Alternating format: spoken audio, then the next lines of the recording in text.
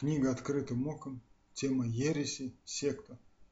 Вопрос из секты, вопрос 753. Как вы смотрите на заочное библейское обучение, в скобках Москва, в кавычках «Голос надежды», радио 1, отвечает Игнат Тихонович Лапкин. Учение света, а не учение тьма. Для неверующих это неприлежно. Нужно учиться, учиться и учиться – как наставлял дворянин Ульянов. Но Слово Божие предупреждает. Матфея 6 глава 23 стих. Если же око твое будет худо, то все тело твое будет, будет темно. Итак, если свет, который в тебе тьма, то какова же тьма? Кто учитель? Эти курсы не, не православные, а значит к ним подходить нужно крайне осторожно. Еретики подобны скорпионам, Получает Андрей Кисарийский, толкователь апокалипсиса.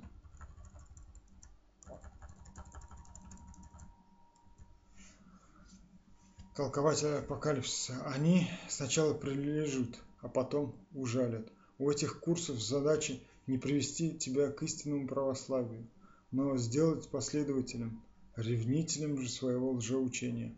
Галатам 4 глава 17 стих ревнуют по вас нечисто, а хотят вас отлучить, чтобы вы ревновали по них.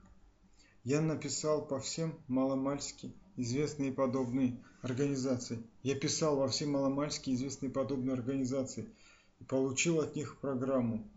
Если в среднем условно взять их занятия в 30 уроков, то первые 10 уроков ведет все нормально. Рассказывает, рассказывается библейская история – Далее начинается умышленное умолчание о том, что им не подходит. И, как правило, в конце последней третьей части показывается их звериный оскал против православия. Все эти зарубежные эмиссары, просветители России имеют очень четкую программу заполнить духовную пустоту после сошествия с политической арены коммунистической заразы.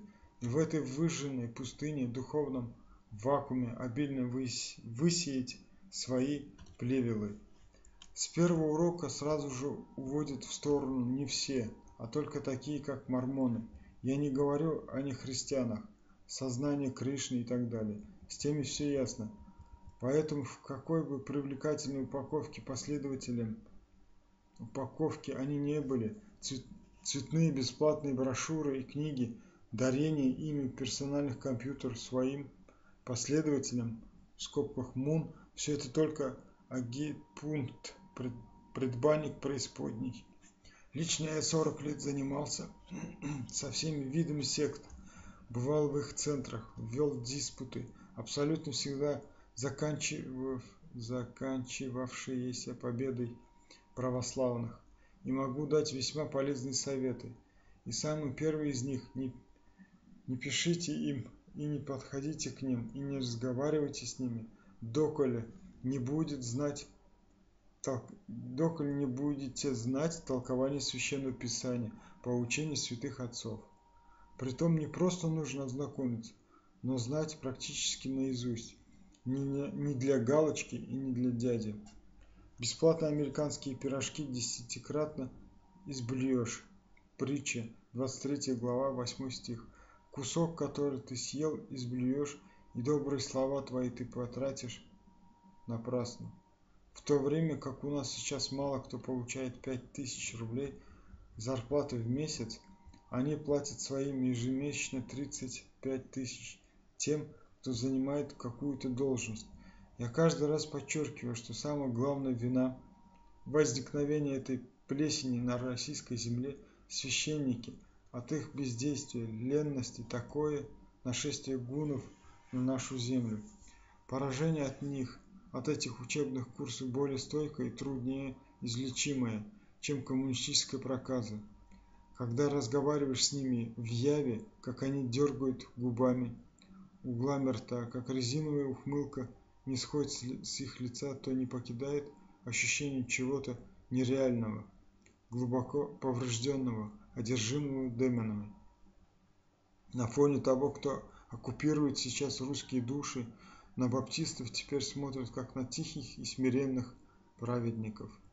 Эти же буквально рвут землю из-под ног, нахально лгут, на каждом шагу танцуют с Библией в руках. Аллилуйное настроение, как они говорят. Думаю, что от них Россия не избавится. Это пришла чума, и здесь шапка, изда... шапка... шапка закидательства не поможет.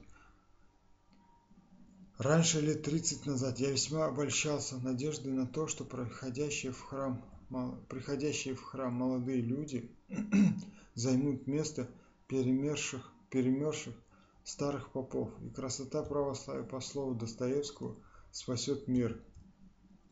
Но оказалось, что доступ к алтарю лежит через изнасилование душ. Старые кадры уродуют, пережигают на своих жертвенниках кости молодых и делают их вдвое худшими себя. Матфея, 23 глава, 15 стих. Горе вам, книжники и фарисеи, лицемеры, что обходите море и суши, дабы обратить хотя одного, и когда это случится, делайте его сыном гиены, вдвое худшим вас.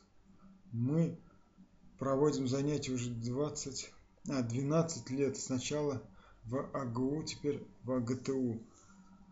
В скобках, бывший политический институт каждый вторник и пятницу в 18 часов 410 аудитории корпус Б на улице Дмитриева, вход от переговорного пункта свободный. Узнав про это, вы уже не будете иметь извинения на суде Божьем, если потянетесь к еретикам.